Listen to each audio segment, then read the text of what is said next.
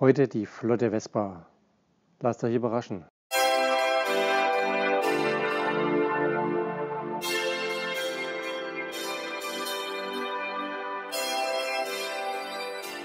Ja, hallo zurück beim Happy Camper. Heute soll es mal um meine Vespa gehen. Genauer gesagt um den schnellen Transport von dieser. Ich stehe hier quasi vor dem fertigen Ende von dem Projekt und denke mir so, das könnte auch für den einen oder anderen von euch interessant sein. Aus diesem Grund mal kurz ein paar Worte, was ist passiert, was war das Ziel und wie ging es hin. Also, Ausgangslage war, ich besaß diesen ungebremsten Anhänger, ich besitze die Vespa und Kleiner Vorgriff, hoffentlich auch bald eine Anhängerkupplung für meinen Camper. Im Moment gerade muss mein Pkw dafür herhalten.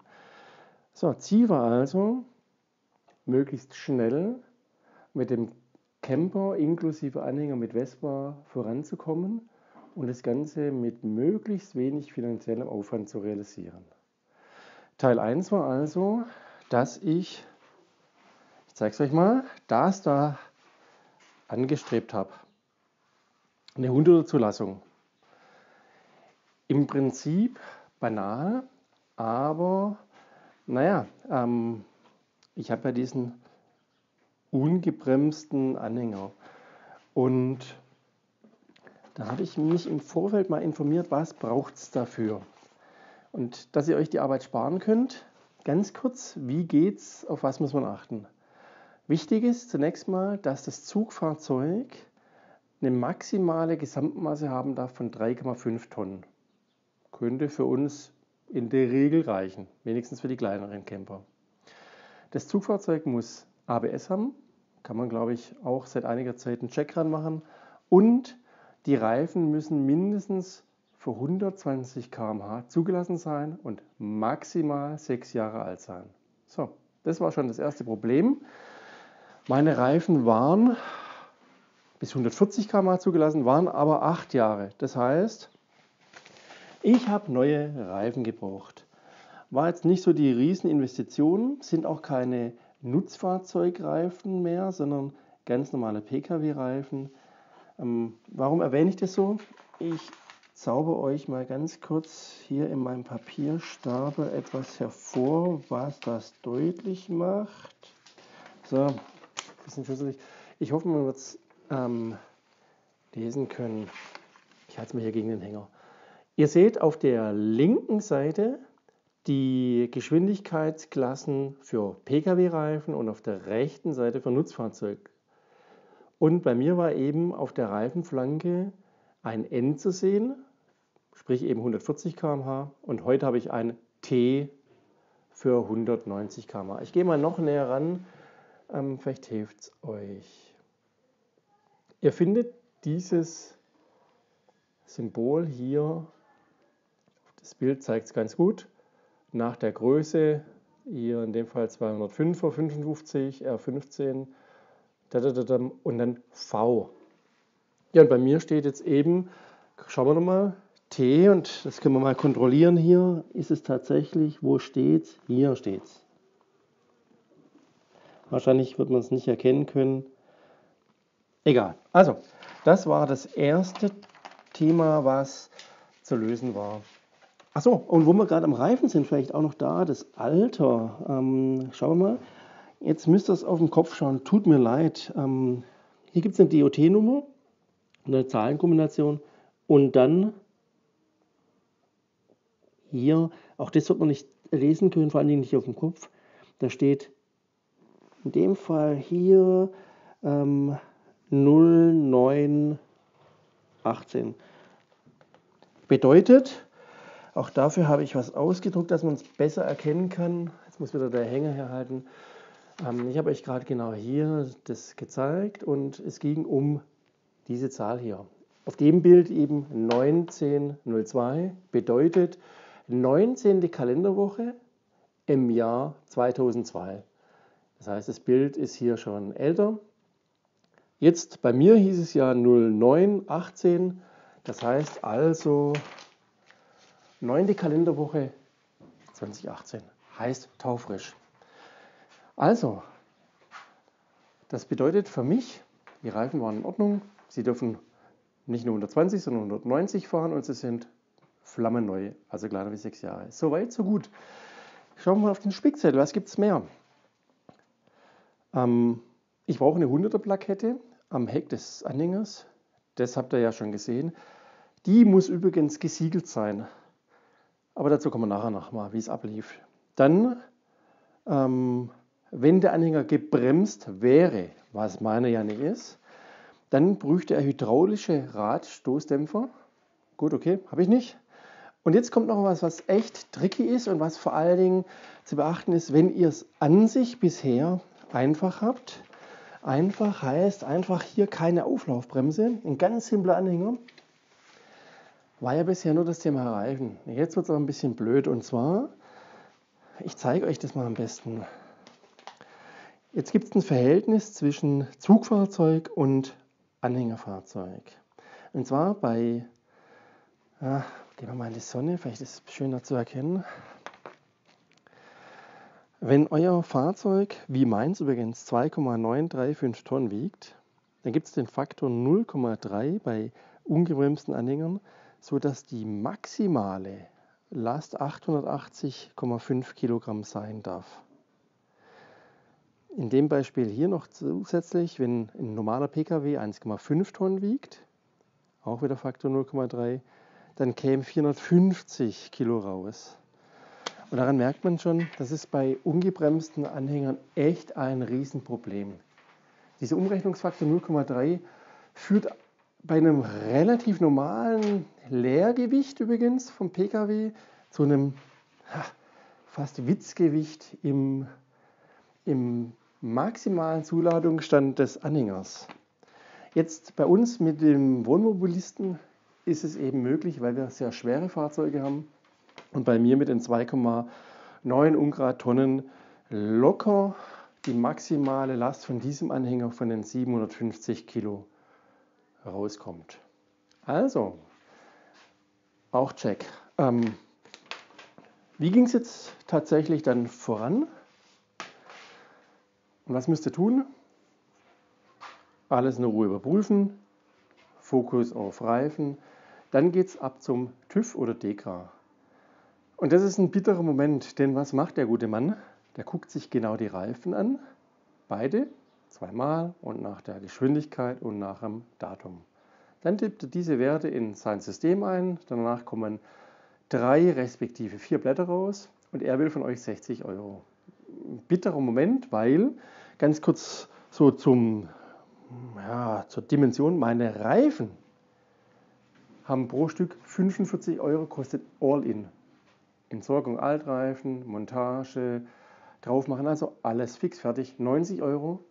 TÜV, in dem Fall bei mir war es Dekra, 60 Euro. Musste ich schon mal ganz kurz schlucken. Aber gut.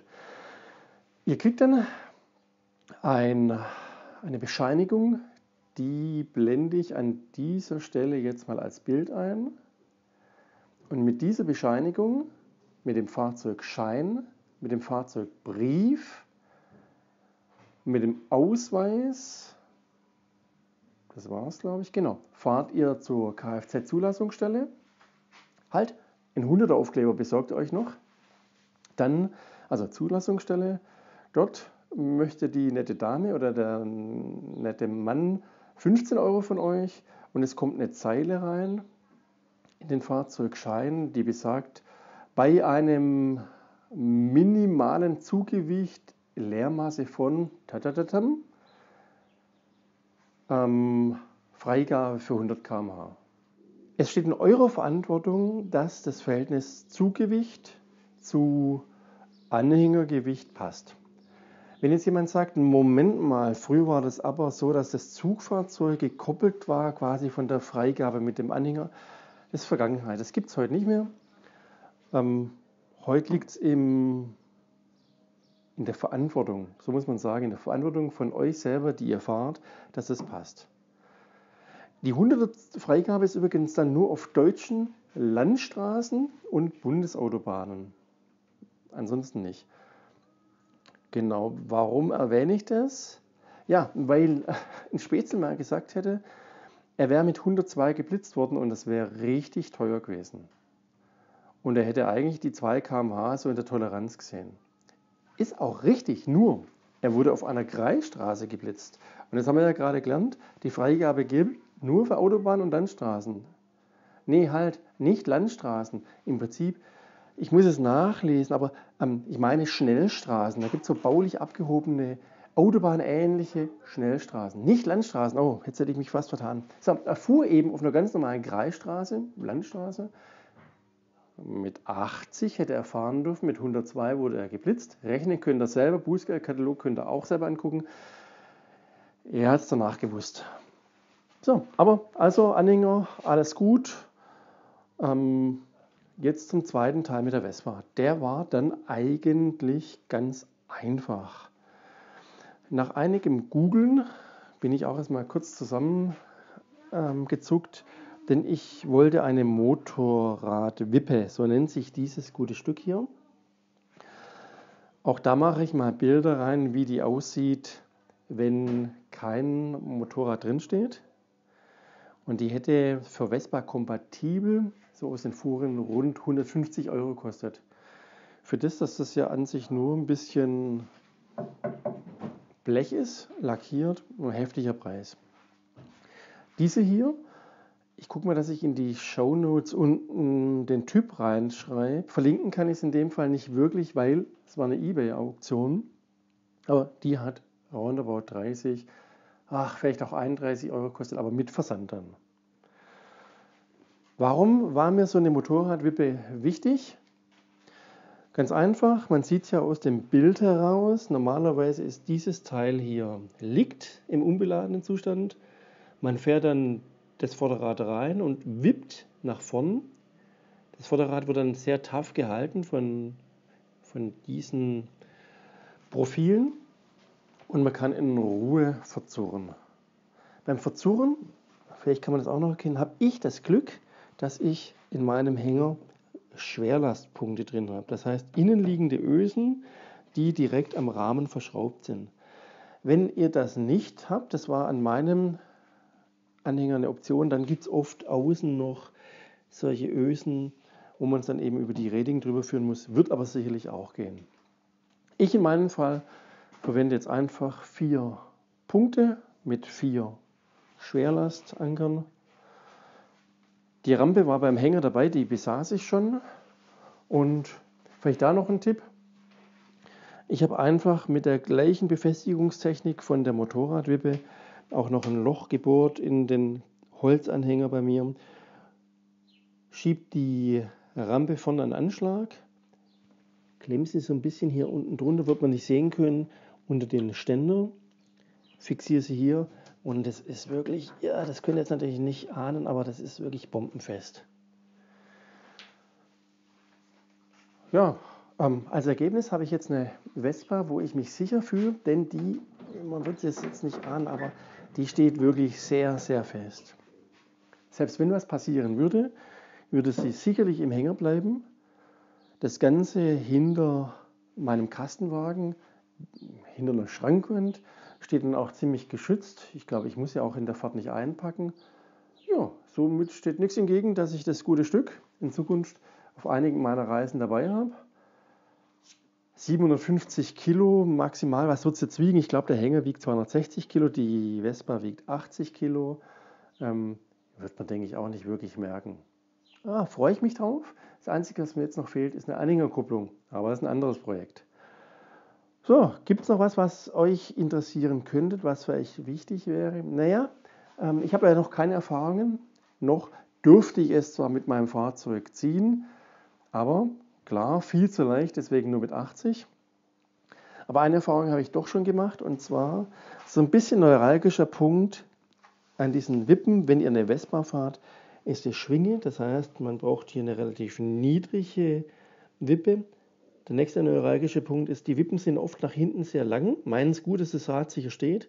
Bei den kleinen Rädern nicht optimal. Das heißt, achte darauf, dass es hier einen, einen kurzen Wippenschenkel hat. Ich erfinde jetzt einfach mal das Wort. Hoffentlich passt so.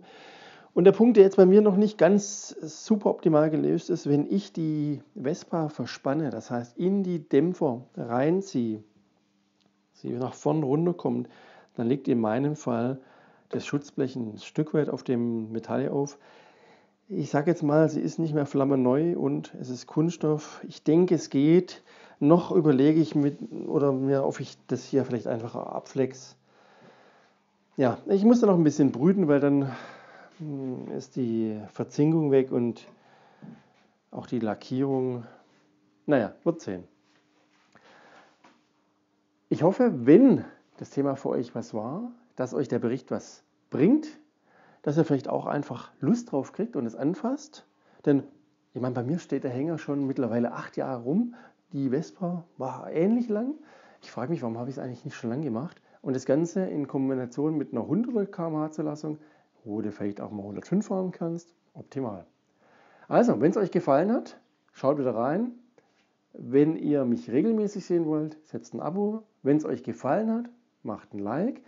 Wenn es euch nicht gefallen hat, ignoriert es. Und wenn ihr noch Fragen habt, dann schreibt mir in die Kommentare.